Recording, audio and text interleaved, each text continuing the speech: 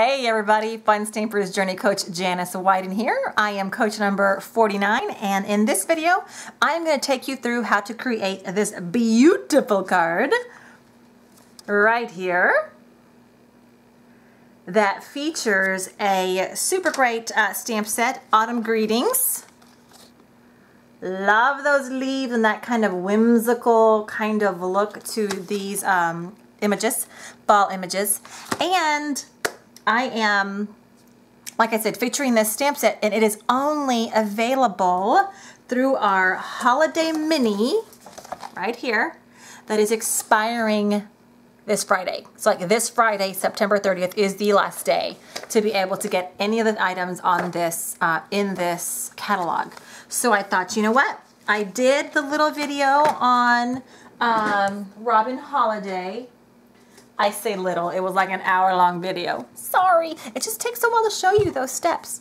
This one right here. So if you haven't seen Robin Holiday, then go check out that video. It's a little over an hour long, but you know, you can fast forward through some sections and just get the, the main gist of it, um, or slow down and get the, the full gist of it um, if you need to.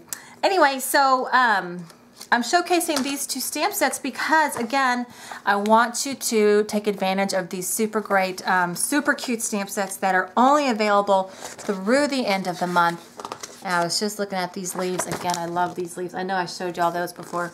Anyway, but again today, sorry, going everywhere. Autumn Greetings is the stamp set that we are featuring. Um, it is available only through this Friday. Um, it is $18.95 for a set of uh, nine stamps. So there you go. Super, super, super, super cute. I think you're going to love it. Okay, so once again, here's the card. And here is what I did to it. So again, pretty much the same layout. Did I already show you this? Y'all, my mind. Um, pretty much the same layout except for I added these little golds, cutesy patootsies little thingies, and um, I think that's really the only thing different. Oh, I didn't add the little green dotty dotty things, but, oh, and I changed the color. So this leaf there, I think is kind of a purplish in the catalog, which you might not be able to tell on the screen, but you should be able to tell in your catalog when I changed it up to Cranberry Bliss because I like those colors better. Anyway, get ready because I'm about to show you how to make this. Super easy, super fun. You got this. Here we go. Okay, so here we go. So once again, we're making this gorgeous card. Beautiful, beautiful. I'll kind of show you the layers there. Kind of popped up a bit. There you go. Ooh, look at that gold. Okay, so to start off with, um, we are going to take a st uh, strip of oatmeal cookie okay? And I've already pre, uh, pre um, cut and pre-scored everything uh, just for the sake of making a, a quicker, shorter video. So again, this is a piece of four and a quarter by eight and a half that I scored in the middle and created a tent fold card base which um, if you've watched my videos, you know that those are my favorites. You could, of course, use a regular fold um, meaning the, the fold that folds on the left side um, or turn it that way kind of a deal, but up to you. Anyway, so um, did that first. And what we're to do um, before um, we talk about the little pieces here is we're to create this background. Okay, you may, I think you can pick that up in the camera. There's a faint, if you look real close, you'll see that there are uh, faint images of the leaves and the acorn and just different fall foliage as a background. And that is what we're going to do first. Um, so um, I'm going to go ahead and get our stamps out. So our stamp set is Autumn Greetings, like I mentioned, and it is only available through the end of this week. So if you love it, then you need to grab it soon. Um, so the images that we're using to create this background are this main leaf here, this big one, um, this little guy here, and the acorn and I think the little berries as well, if I'm remembering correctly. Technically, you can use the ones that you want. You can incorporate all of these. Um, so I'm gonna go ahead and get started with my biggest one first. And I am putting him on my block C and he just about fits on block C. He kind of sticks out a little bit, but you know, I am just not a stickler for that. I mean, I just make sure to press down and we're good to go. Um, so we're going to start off with using oatmeal cookie. Um, because this is an oatmeal cookie base, when we stamp with the same color, it's going to create almost like a watermark look. And no particular way, just kind of stamp, you know, a little bit here and there. I don't even think I thought about it too much. I like to get my corners, maybe up here maybe here. Okay, so I did about five or so. So remember, we're just creating a background, so I'm not gonna be too concerned about um, placement of my stamps. I switched over to this guy. Y'all, is this a maple oak? I'm terrible. I don't know whatever shape that is. Whatever shape leaf that is next. And again, come and fill in some of these spaces here. Maybe here. And maybe I'll come in upside down this way. Okay. And let me switch over to little berries. I love these berries. And again, I just want to fill in some of these empty spaces. And if you accidentally overlap with um, one of the, the images that you uh, stamped earlier, that's okay. It's the background, okay? It's the background. Um, okay, and then I'm going to switch over to our acorn. He as actually is one of my favorite images um, in this set is this little cutesy acorn. And he can fit here, and maybe I'll stick another one right there. Stick one here. I don't know, maybe I will give his little, I'll go this way and make him come in the side there. Basically, wherever I see that he might fit or part of him might fit, I'll stick him in. And maybe I'll just overlap him a little bit with this section here. Okay, so now you can see I've got a nice fall foliage stamped background. And again, it doesn't have to be perfect. You remember, you're gonna cover a good portion of it. You just want it to be um, just the background of it. And you may notice that one looks a little more, a little darker. It's because it's wet. Okay, it'll it'll kind of fade just a tad to create that um, illusion of a background there. Okay, so now that we've created the background, at this point you would then start stamping and cutting out your uh, different fall foliage. And I'm going to zoom in a little bit because we're going to get just a little bit closer here. I'll bring in these other things. Um, so looking at our original card, you'll notice I have two of these, uh, are these maple leaves? Y'all, I don't know. Just, you know, whatever. Two of these shape leaves using pumpkin spice. Okay, so you're going to stamp that. Um, and I stamped using, I believe with these I stamped using the hazelnut blend. Okay, if you want it to stand out just a little bit more, you could use our dark roast. So that is your choice, but I did use um, hazelnut blend on those. And so I stamped those twice, okay, and then I cut them out, okay, literally fussy cut them um, using our little um, uh, Pro Shears that are amazing. These little detail guys are wonderful and worth the investment. Um, they are not part of our 20% off promotion, but these guys are, and these guys will do the same type of job, okay? So 20% off until Friday. So we cut two of these leaves, stamped and then cut them. And then I stamped one of these little guy this little guy here. And on this one, I used dark roast just so that I could make sure to see the detail of the leaf a little bit more. So I've got one of those. And then I did three, oh, hold on, before I do the three, I did a little pine cone where, and he's missing So he will just have to get stamped again. So I did a little pine cone on oatmeal cookie. And I will go ahead and stamp him out, this little guy right here. Just one of them. Um, again, dark roast will make the um, image pop a little bit more.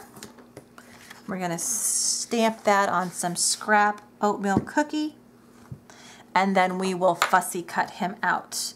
Okay, and I'm just for the sake of time, I'm going to just cut around him and put him off to the side for a minute in hopes that by the time I get to putting it together, I'll find the one I already cut out.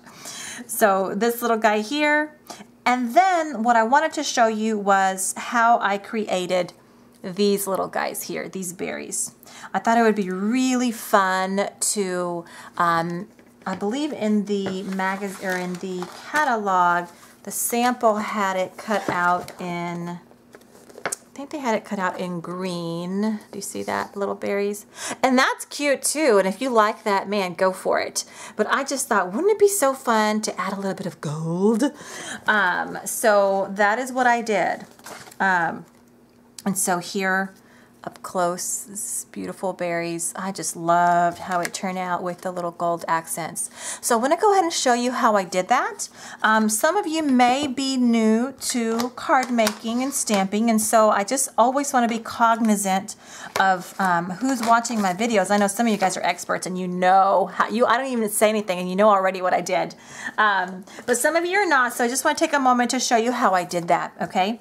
Um, basically, I um, used gold embossing powder to create that beautiful, uh, beautiful golds um, on top of that uh, image. And it's quite simple to do. So what you do is you need two things. You need our clear embossing powder, I say clear, our clear embossing ink, I say ink, pigment ink.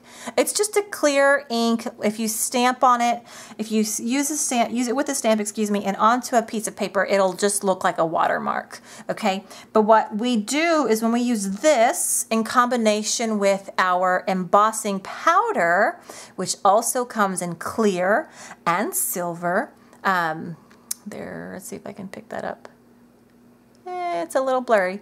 Basically, it just says uh, Journey Gold Embossing Powder, okay? Once you put those two together and you heat it up, it will turn into that. So let me go ahead and get that ready to show. So I'm going to use the berries like I mentioned. So this little guy here, put him on my block, and I'm going to use the clear pigment ink, and I'm going to quote unquote ink it up just like I would with any other ink. And you can kind of see, I think you can see the kind of shimmer-ish, there it is. You can see that there is ink on there, it's just clear, okay? And if you ever feel it, it's, it's, a, it's kind of sticky-ish, um, and it's intended to be that way so that it can pick up any powders or anything that you want to um, uh, put on top of it. So I'm going to stamp, and let's see if this will pick up. I can hold it just the right way. You can kind of see it right there, can't you? Um, right there. And so what we'll do next is now that I've stamped it with the clear pigment ink over a tray so that you don't lose your embossing powder, you are going to just pour a bit of that embossing powder over your stamped image. Just like that. And just cover it entirely and the powder is going to now stick to the ink. So tap it off. Sometimes I'll hit the back and then look, it's there. Now you might notice it's not brilliant, it's not shiny because we have not heat activated it yet. And so this right here is our, I'm going to zoom out and not in so much. This is our Journey heat gun, okay? Which I should tell you is included in our 20% off sale until the end of the month. So until this Friday. Normally $27.95. This puppy is now $22.36, so 20% off. And let's show you how it works. There's a little button right here. Hear that? That is basically the heat uh, coming out and the little motor running. Now be very careful with this if you've never used a heat gun before. It gets very hot. You never want to put your hand up here up close. Um, you can feel the heat and it gets really hot, so just be careful. We have a nice little plastic shield on ours, so it does kind of, um, it is an added safety feature, but just be careful when you use it. Um, and what I'm going to do, and I'm just going to show you, and you can see the magic happen before your eyes, is you turn the heat gun on and you hold it over the embossing powder that you just stuck to that ink. And within a minute or so, maybe less, you will see it start turning gold. And I'm going to see if I can do this, and bear with me with the noise.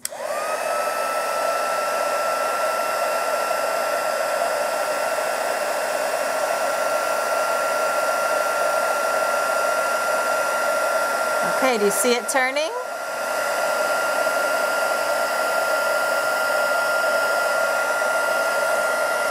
And that's it. Look at that.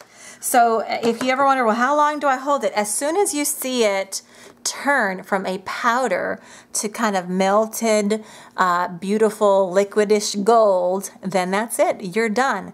At this point, um, you're ready to cut it out. And once you've fussy cut it, then you've got this little piece here that you can then add to your card. All right, so hopefully that was helpful for you if you've never used our clear pigment ink along with our any of our embossing powders. Again, it comes in gold, silver, and clear. Okay, now let's get back to our card. So we had our card base. Um, I told you about the three pieces here, the leaf, the little um, pine cone guy, which I still haven't found my loose pine cone, and that'll just have to be okay. Um, the next thing is our, our circle. So we have this wonderful die. And actually, we just we have more than one. We have wonderful, wonderful, great, versatile die sets. And this particular die set um, is a great basic to have. Um, it's called Journey Circles and it has 10 dies in it.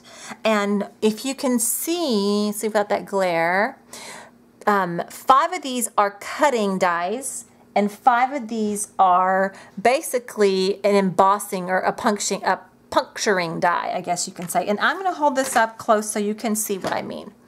So this large one here has a rim and that cuts the circle shape out. So it cut this circle shape out off the paper. But you'll notice that if you look up close, it has little kind of perforated little dots running along the edge. Well, that happened because of this little guy right here. It has raised little dots around the sides. And so it doesn't necessarily cut anything out, it punctures. And it punctures in the shape of that circle. Um, and it creates this super cute, super fun little added detail for your dies, which is what we used here on this card. Okay, so our basic next step here, once you have run this through your die cutting machine with your two dies together, and it's real simple to do, uh, make sure your cut side is down and your perforated side is down, just like this. And you can tape it down with some low tack tape if you want. Put it in the correct sandwich, run it through your machine, and then you'll get this beauty of a circle, all right?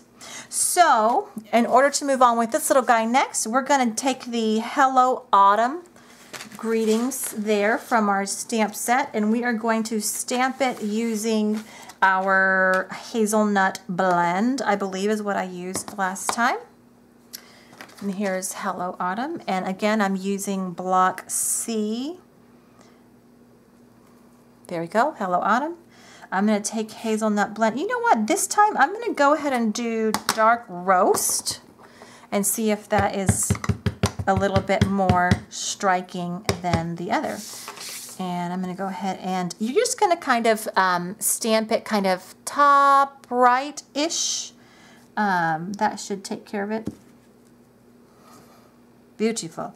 So it's not too different as far as the color, but um, it you will notice this one is darker. Okay, so this hazelnut blend is kind of a chocolatey, warm milk chocolatey color, and then dark roast is kind of like a dark roast coffee color. So just, you know, something for you to know. Okay, so I've stapled it. I've got all my pieces together. Um, and so now we're going to assemble it. Okay, so the first thing that we're going to do is we are going to pop up this little guy um, onto our card base using our foam adhesive squares. And we're going to use our large foam adhesive squares. And if I can locate them, that would be fantastic. Okay, so I've looked at my large, I say large, I guess there are medium foam squares. Um, and we're just gonna put a few on the back. And you know what I do? I do, I do kind of north, south, east, and west. Um, and I do four when I get a circle. I mean, if I'm feeling extra like just wild and crazy, I'll put one right in the middle. But I don't feel like that's necessary for this one. So you're gonna go ahead and peel the backing off of these guys and then you'll set it up on your card. And again, it's kind of towards the top-ish right. Um, again, doesn't have to be perfect. Okay, so there he is. He's on there. He's uh, added my little squares and he has popped up a bit. And so at this point, um, I am ready to uh, do some splattering. Okay, so I actually added um, one change that I did that they didn't do was I added some gold silk. So this is like Richard's favorite thing to do is to splatter um, quote unquote paint on cards. And so this is our gold silk and you need to shake it up real good. You'll notice that the gold paint kind of pulls towards the bottom. So shake real, real good. Same with the dark roast, okay? And you can use this, um, I say can, you should use this over um, a piece of paper to kind of help control, um, I say control, keep your work surface fairly clean because it does splatter everywhere. It's hard to control. So I just wanted a little bit here, maybe a little bit on the corner, maybe a little bit over this side of my um, die. So what I'm doing right now is I'm kind of taking off a little bit because I just want a bit. And I'm just going to splatter just, just a little bit there. I don't know if you can catch that. There we go. And there is no specific technique to the splatter. If you want itty bitty ones, then um, kind of, if you don't want very much, then just make sure there's not a bunch on the brush. If you want more, then go straight into the bottle and directly to the paper and that will splatter more. So here are some of the splatter of the dark roast. And then now I want to do a little bit of the gold. And same kind of technique, just over the area that you want it to go. And again, it does sometimes have a mind of its own, so it's not always controllable. Okay, and I like that, the way that turned out. There you go. And again, always have a paper underneath because a lot of times it'll go places that you didn't realize it went. Okay, so I'm going to go ahead and zoom in so that you can see a little bit better how I'm going to adhere these guys to my card. All right. So the first part that I started with is, is you always kind of work in layers when you're creating um, a floral bouquet of sorts. And so the first two sections are these two orange leaves here and here. And I I could use the small foam squares for this little guy, um, but what I ended up using instead was hot glue because I just wanted, I wanted this to kind of be the base for everything else to be stuck to. Um, and I wanted it to make sure it didn't come off and be fairly stuck to the card. And, and I mean, who doesn't love hot glue? I do. Um, so take one side, put a little bit of glue. And you know what? You don't have to use hot glue, but I am a sucker for quick, strong adhesives. Um, and then just kind of line it up off to the top left. Top left? I don't know, bottom left, I guess that's better, more accurate. Same for this little guy, hot glue on the side. Sorry, off camera. And then this one is more off kind of towards the bottom right. And it is hanging off the circle a little bit, okay? Um, from there, we're going to adhere the, um, you know what, I think on mine, I did these little two pieces, but it technically doesn't matter. But we'll go ahead and do the red next because the red goes right there in the center, um, kind of, it's not straight on so that it goes in front of the saying, but it's kind of off to the side. Um, and I did use hot glue for this as well, just because you just can't beat it. And it also does give you a little bit of dimension which I love. And our Pop Dots do that too, but I just wanted it to dry quick and I'm looking for a pokey so that I can stick this down. There we go. That's another thing I love about hot glue is that you can kind of mold it and shape your piece and then it keeps the shape that you want it to keep. Okay, and then I believe at that point I came around and I kind of positioned these off to the sides, kind of like this, sticking off to the side. And I did, again, use hot glue for that. At this one, for this one, you probably don't need hot glue. Um, you could probably use just a regular glue, but you know what? I had it already heated up, and so I said, why not? And so that one goes there. Now I did add a glue, I say a glue dot, a foam square underneath the leaf because I did want it to stay upright. You know, I use these scissors for everything. Sticks this little guy in here just so that it doesn't fall down and it kind of stays where I want it to stay because I don't want it flat. I kind of like it lifted. Let's see if you can see that better. There you go. Now you can see it. I want it kind of lifted up a wee bit. And then same for this one. So I'm going to put a little bit on the stem and then I'm going to do a little glue dot and pop it up just like that. Don't you just love hot glue string? I'm kidding. All right, so that one goes there, and then again with a um, pop dot, a foam square, right towards the back bottom so that this guy doesn't fall down like it did. So it has a little bit of shape there, right there. There we go. Okay, so I don't know if you can see, it's got a little bit of lift. Some of the leaves are kind of sticking out. And then really the very, very last little part here is this center piece that's going to go here, right there. And then the little pine cone that was kind of um, missing I, I found it, and then I did another one. And I've got two, so I'm like, hey, why not? I'm just going to go ahead and add two this time.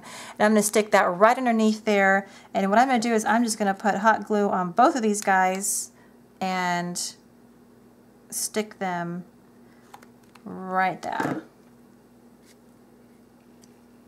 Just right there. Because I kind of like them right there. Okay? All right, so now I'm ready to tie this little fun bow. Okay, and I'm trying to remember, did I? I did. Okay, I think I went ahead and did this one first.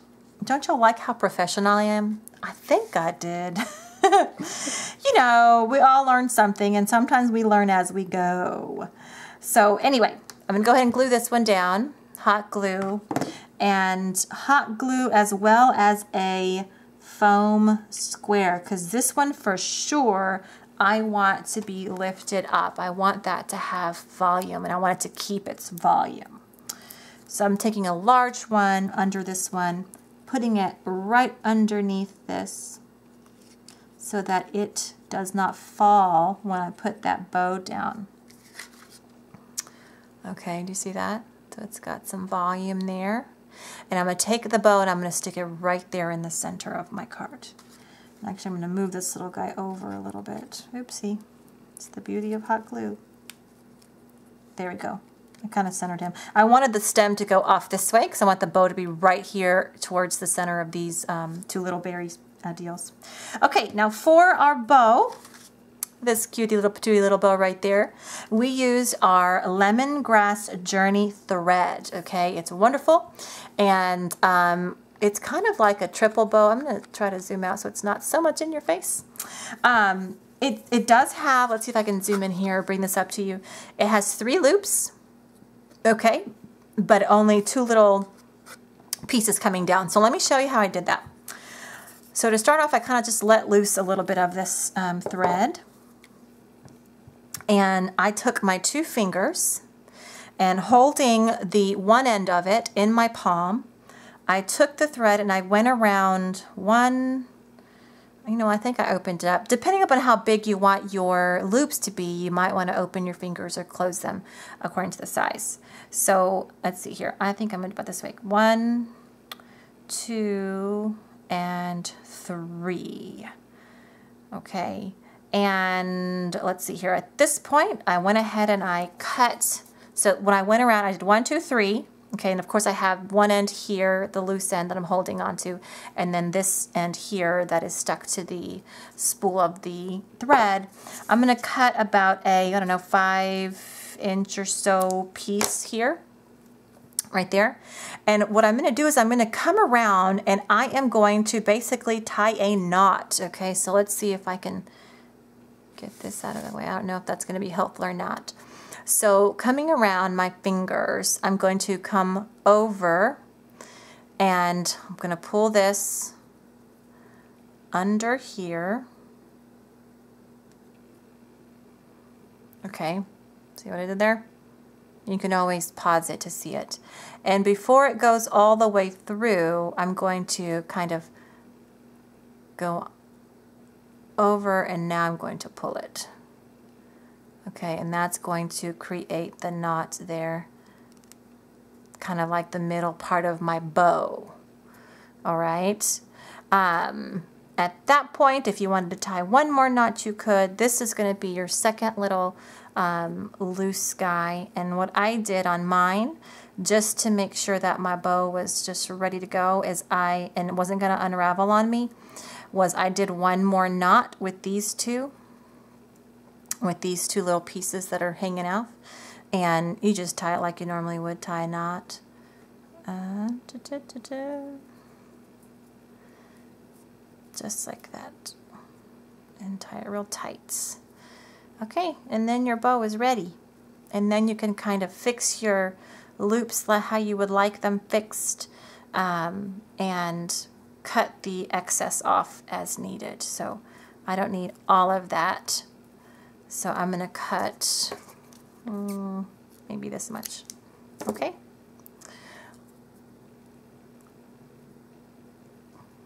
All right, so now that you have your bow, okay, this little guy, now you can glue him to your card.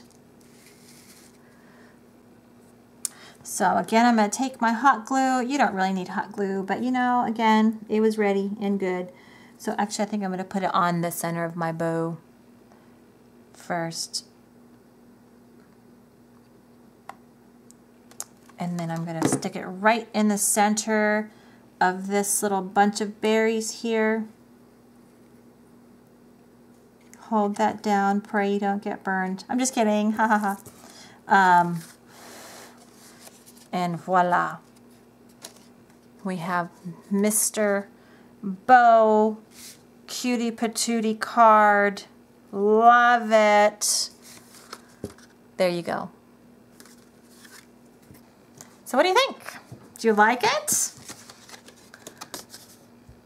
I love it. I think it's adorable. This is a, such a cute stamp set. Again, hello greetings. Hello greetings. Autumn greetings.